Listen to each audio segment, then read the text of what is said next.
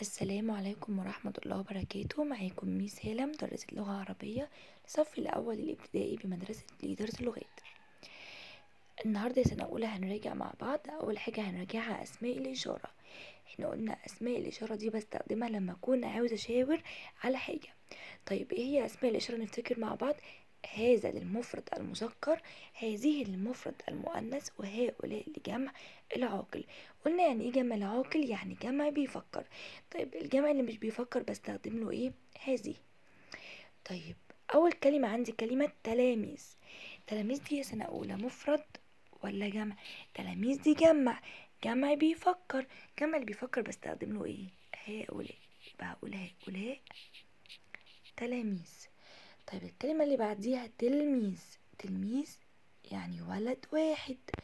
مفرد مذكر بستخدم له إيه؟ هذا طيب اللي بعديها تلميذة. دي مفرد مؤنث. إحنا قلنا الكلمة لما يكون آخرها تاء مربوطة بعرف إن دي كده إيه؟ مؤنث. طب مفرد المؤنث بياخد إيه؟ هذه طب اللي بعديها عمال. جمع بيفكر. جمع اللي بيفكر بياخد هؤلاء. طيب السؤال اللي بعديه أنا ونحن. أنا ونحن دول كان اسمهم إيه سنة أولى؟ ضمائر المتكلم. يعني إيه ضمائر المتكلم؟ يعني أنا عاوز أتكلم عن نفسي. لو أنا عاوز أتكلم عن نفسي أو أعبر عن نفسي هقول إيه؟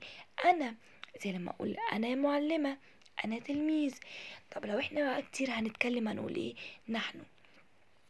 يبقى ضمائر المتكلم دي سنة أولى بنستخدمها لما نكون عاوزين نعبر عن نفسنا أو نتكلم عن نفسنا. المفرد بياخد أنا. لو حد واحد بس اللي هيتكلم هيستخدم إيه؟ أنا. طب لو ناس كتير هيتكلموا هيستخدموا نحن. طيب أول كلمة عندي مجتهد. هقول إيه؟ أنا مجتهد. طيب نشيط. واحد بس هو اللي بيتكلم أقول إيه؟ أنا نشيط. نقرأ. يعني كتير. نون الجماعة يبقى أقول نحن. نلعب. يعني برضو جمع يبقى هنستخدم إيه؟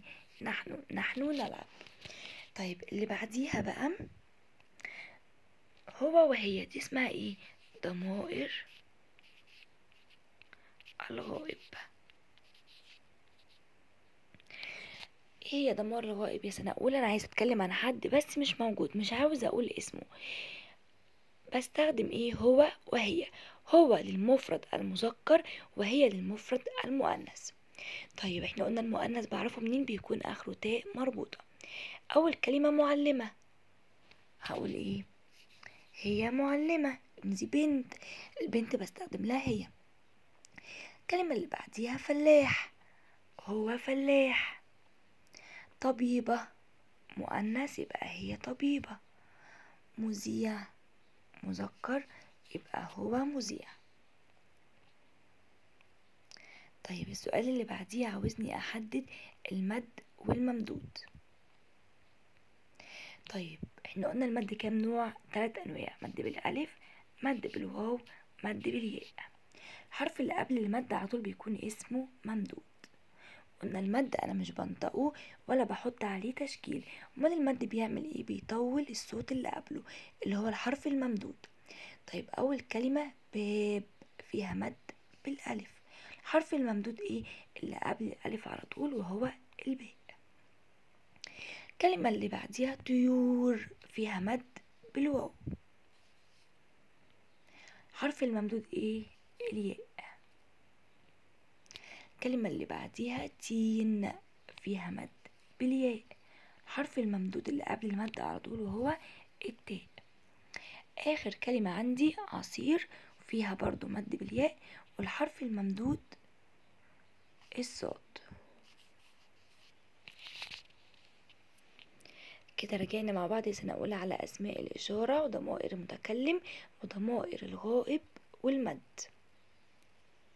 شكرا لكم